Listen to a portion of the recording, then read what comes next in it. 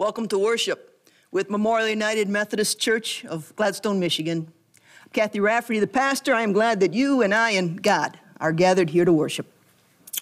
Today's the first Sunday in the season of Lent, a time of spiritual preparation leading us toward Holy Week.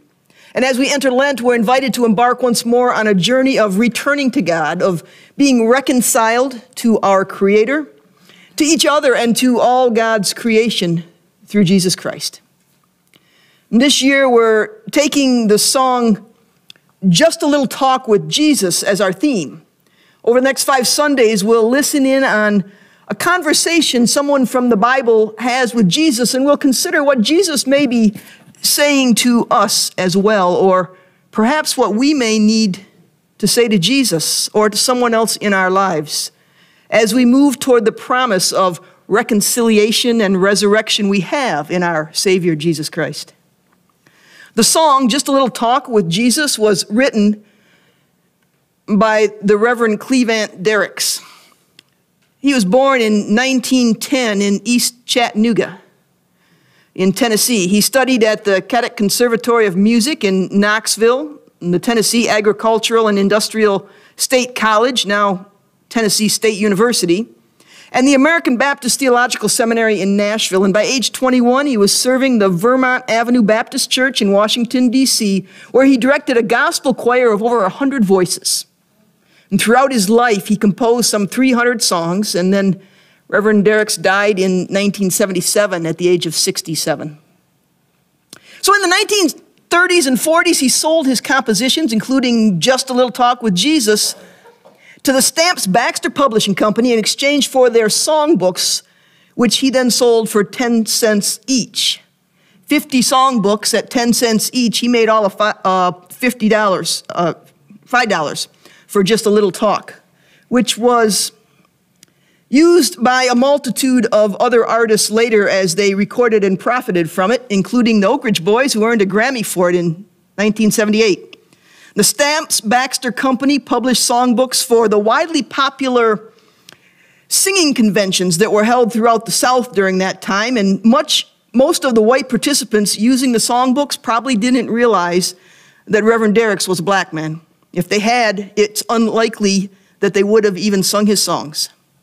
Although, as it turned out, the same songs ministered to impoverished blacks in the Jim Crow South spoke to the hearts of the poor whites struggling through the Depression and World War II years. They became standards among headliner country musicians like Johnny Cash and George Jones and even Elvis. And that's um, mostly information from the Bates Meyer company and the history of hymns from Discipleship Ministries of the United Methodist Church. Now, today, our praise team is going to sing the chorus a couple of times through of just a little talk with Jesus, and you can listen for it to come back around through this season of Lent with gratitude to the Reverend Cleavant Derricks. Before we hear the praise team, will you please join with me in a spirit of prayer? Jesus, we need to talk with you with one another and with those we label other and mean lesser than who we think we are. As we worship you, help us set aside what obstructs honest conversation. Help us hear you speak with us. Help us hear you speak for those we are quick to judge, content to ignore, or determined to silence. Move us beyond mumbled praise and proud excuses through this season of Lent so that we might better witness with our lives to the resurrection love of your life. Amen.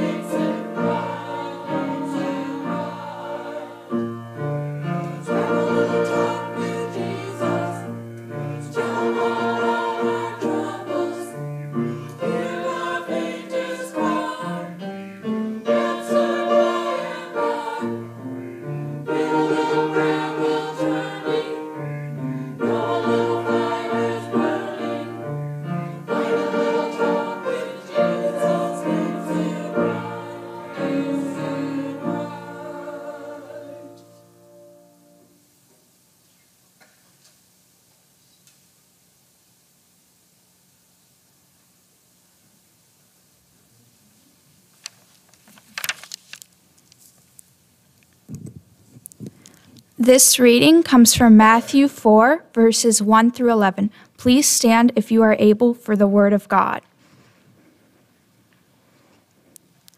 Then the Spirit led Jesus up into the wilderness so that the devil might tempt him. After Jesus had fasted for 40 days and 40 nights, he was starving. The tempter came to him and said, Since you are God's son, command these stones to become bread. Jesus replied, It's written, People won't live only by bread, but by every word spoken by God.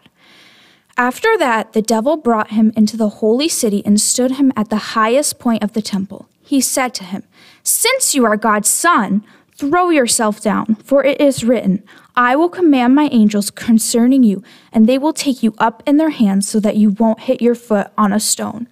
Jesus replied, Again, it's written, Don't test the Lord your God.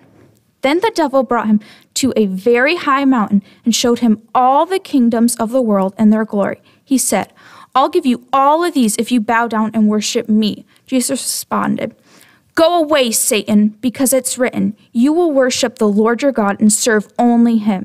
The devil left him, and the angels came and took care of him. This is the word of God for the people of God.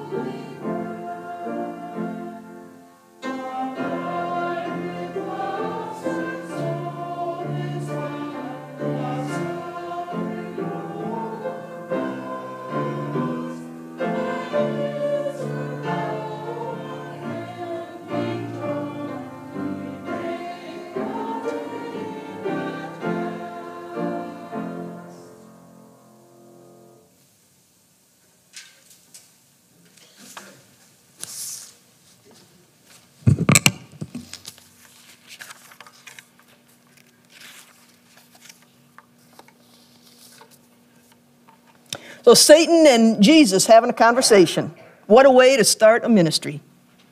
Just after he'd been baptized, filled with the Holy Spirit, and affirmed by the voice from heaven, that same Spirit leads Jesus into the wilderness where Satan is going to have just a little talk with Jesus.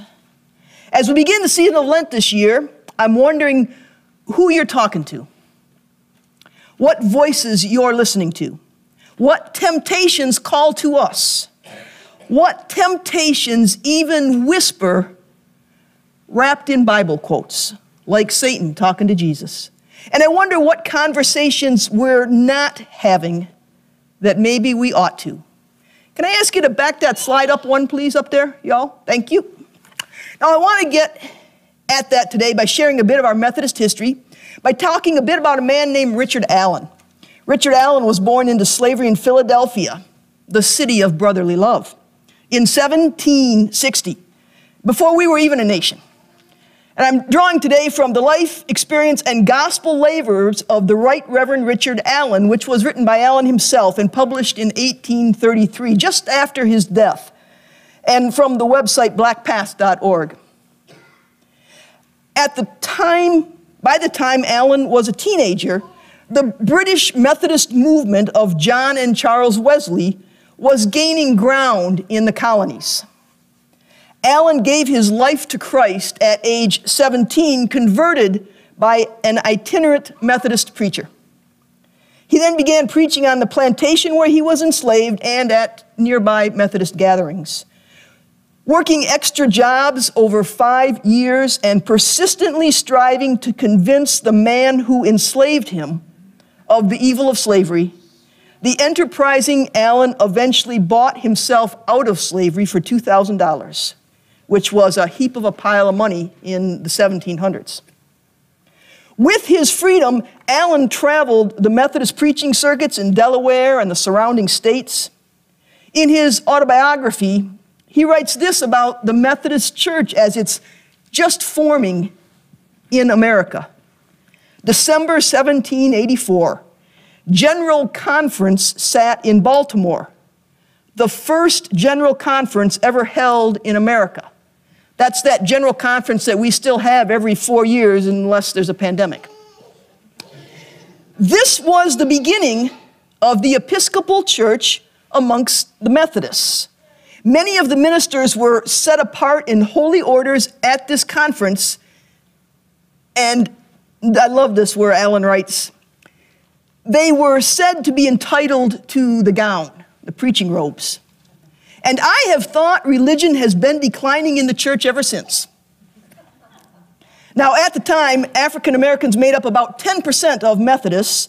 The American Revolution had just ended, and the new nation was also getting itself organized.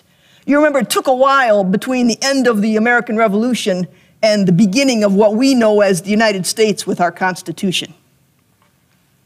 So, Allen, in this environment took seriously the ideals that all men were created equal, and it was just men then, and entitled by their Creator to life, liberty, and the pursuit of happiness.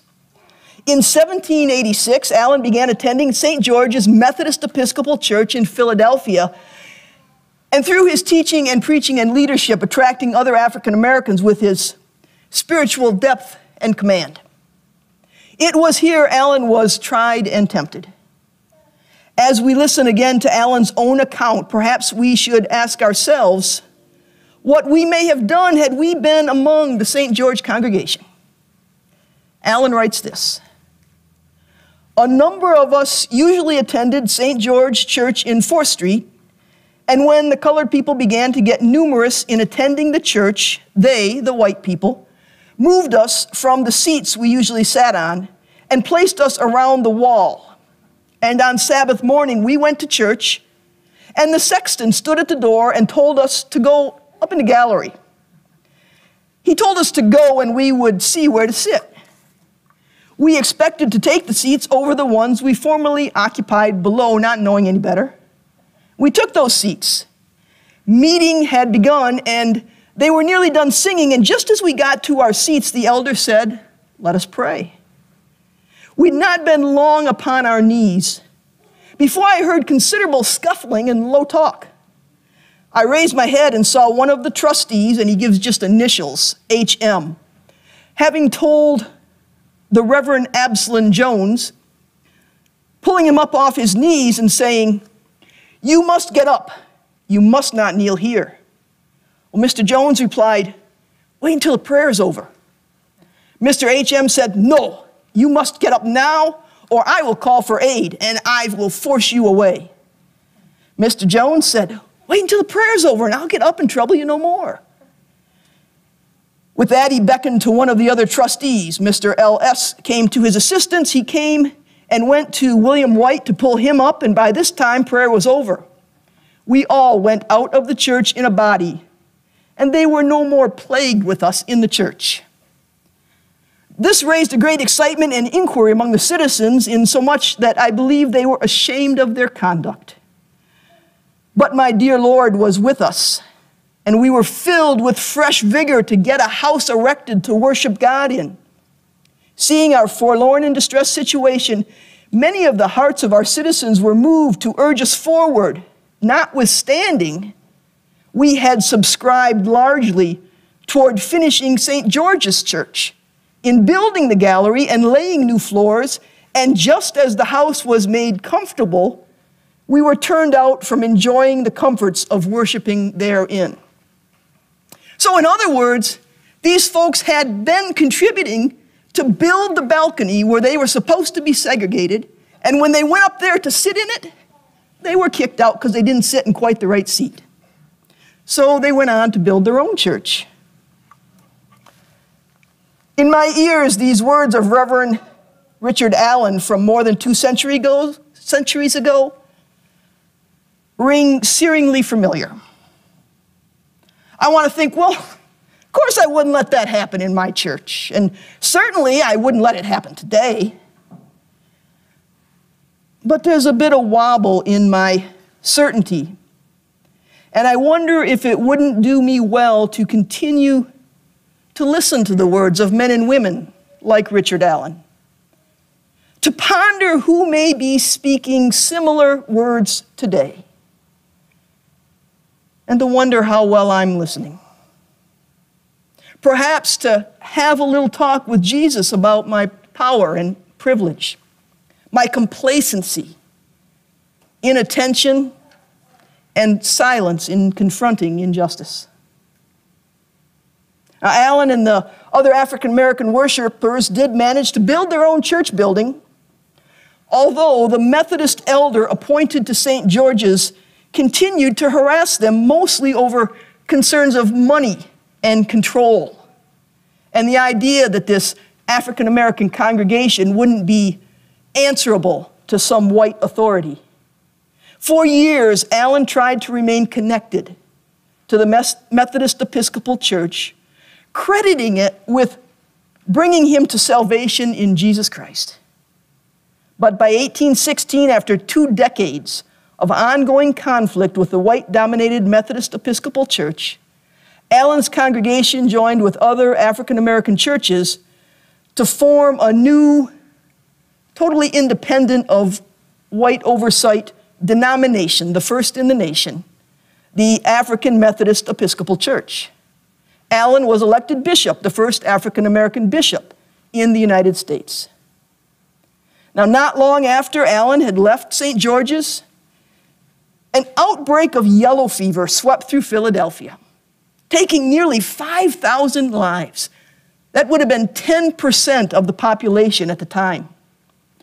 For these details, I'm drawing from an account of the Historical Society of Pennsylvania, which reports this. During the frenzy and fear of the epidemic, Dr. Benjamin Rush, signer of the Declaration of Independence and leading medical mind of the day, he would have been there, Dr. Fauci, I suppose, wrote to Richard Allen and Absalom Jones and implored them to step in and help the sick. Rush believed that African Americans were not as susceptible to the yellow fever. Allen and Jones and many other African Americans agreed to help the sick, working as everything from nurses to gravediggers. However, Benjamin Rush's theory was wrong, and in the end, blacks died from yellow fever in similar percentages to whites. By late November, when the cold set in, the epidemic abated in the city.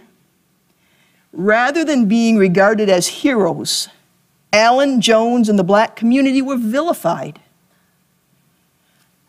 Matthew Carey's pamphlet, a short account of the malignant fever, portrayed the African American community as money hungry opportunists.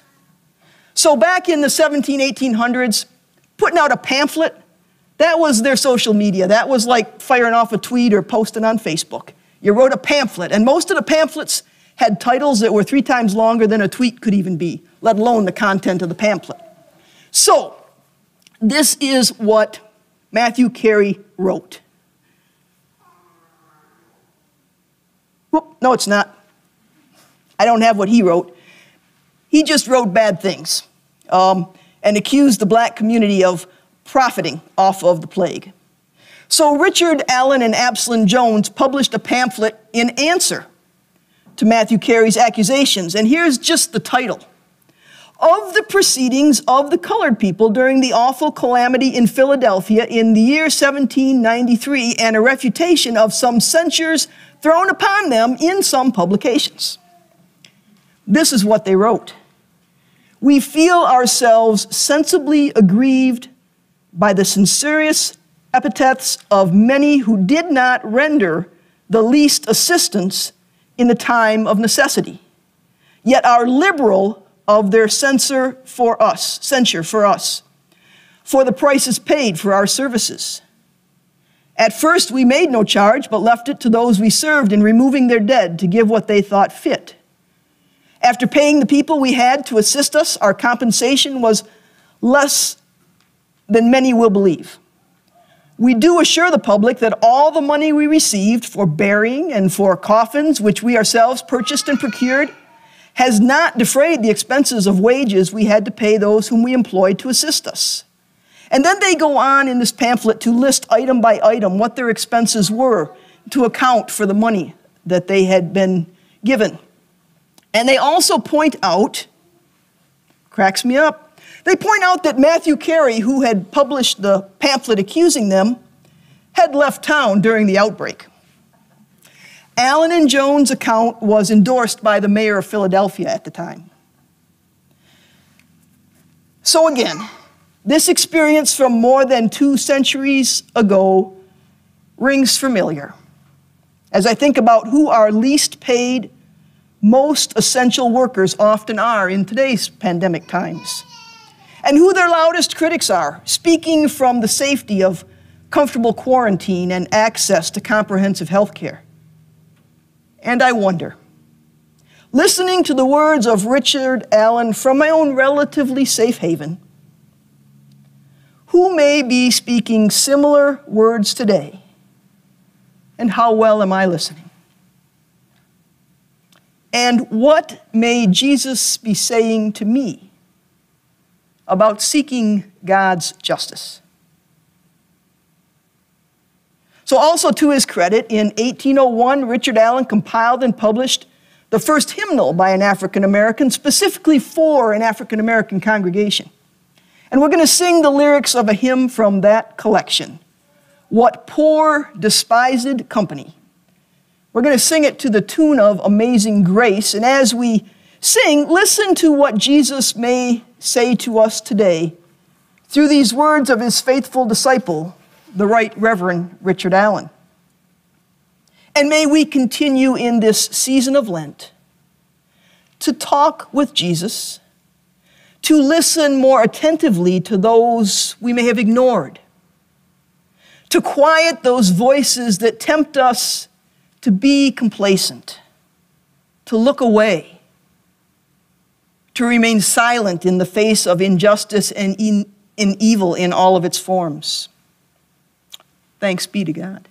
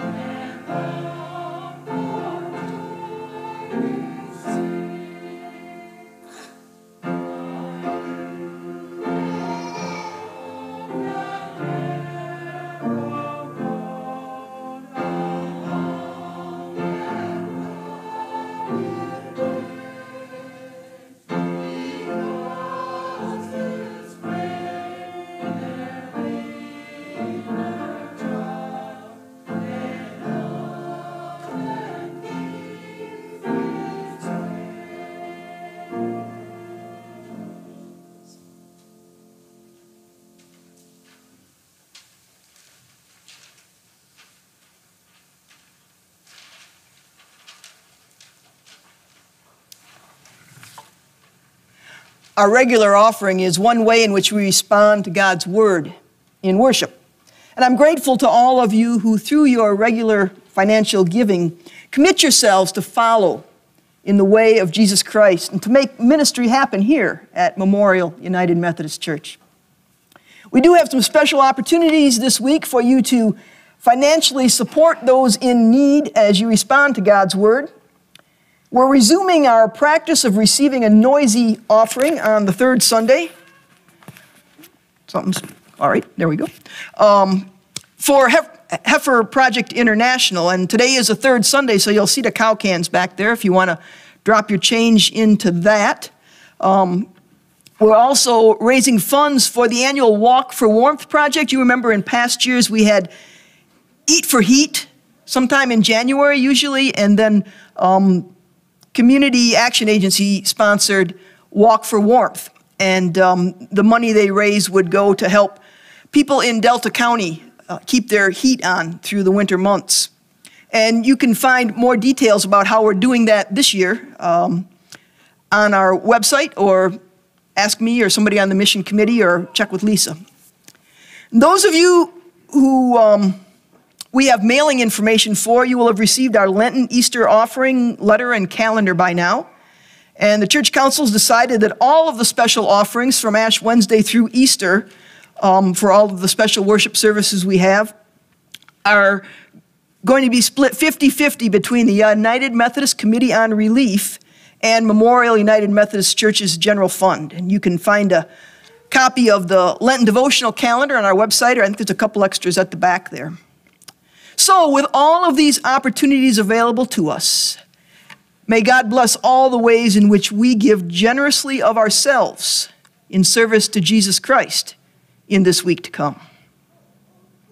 Another way we respond to God's word is by sharing our prayers and worship and giving thanks for God's grace in our lives. I think I just hear a little bit of that going on right over there seeking God's help and healing for those tender, hurting, and broken places, and crying out for God's justice and well being for all of creation.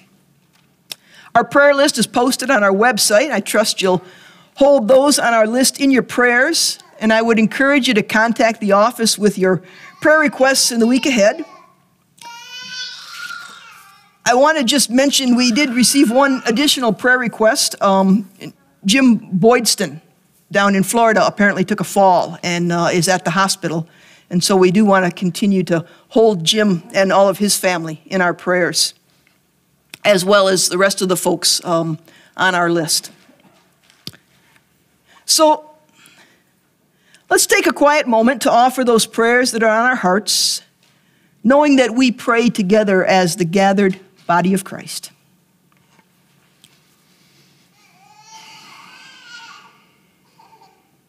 Gracious God, we give you thanks for this opportunity to gather together to worship you. We give you thanks for our heritage, for those who have come before, listening to your voice, seeking your grace, your compassion, and your justice. Lord, we ask in these days that you would keep us attentive to your voice rather than the voices of convenience or temptation that whisper in our minds. We pray, Lord, for all of those who are oppressed, those who are hurting and struggling in our community and around the world. And we pray, Lord, for our leaders, that your wisdom and your word would guide them. We pray through this season of Lent that we would draw near to you We pray all of these things, seeking to be your disciples. And so now we pray together as the gathered body of Christ the words of our Lord's Prayer Our Father, who art in heaven, hallowed be thy name. Thy kingdom come, thy will be done on earth as it is in heaven. Give us this day our daily bread, and forgive us our trespasses, as we forgive those who trespass against us. And lead us not into temptation, but deliver us from evil. For thine is the kingdom, the power, and the glory forever. Amen.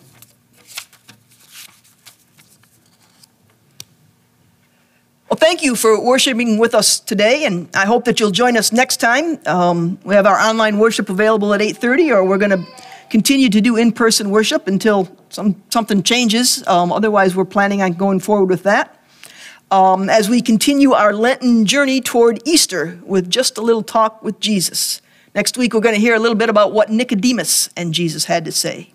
Until then, go in grace and peace to love and serve the Lord.